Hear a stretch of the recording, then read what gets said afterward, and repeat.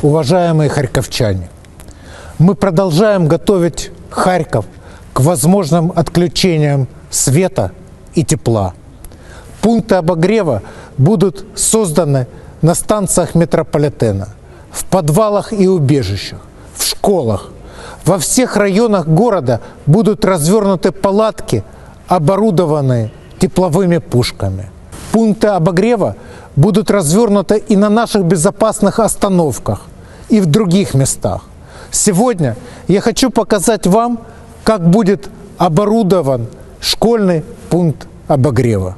Источником тепла в таких пунктах будут дровяные печи с выводом дымохода на улицу.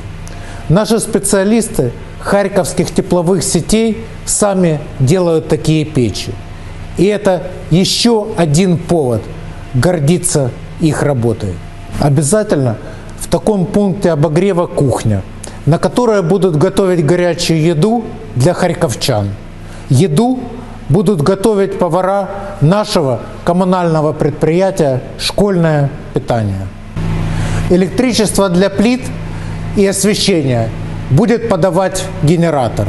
От него же будут запитаны розетки, и вы сможете зарядить мобильные телефоны и приготовить себе горячий чай.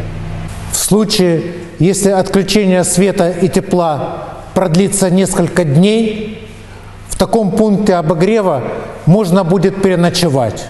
Для этого будут созданы условия. Мы обеспечим подвоз воды к таким пунктам и медикаменты в случае необходимости. Вот так будет выглядеть и так будут обустроены пункты обогрева в школах. Мы делаем все для того, чтобы не дать врагу возможность заморозить горожан. Мы вместе, мы харьковчане, мы победим.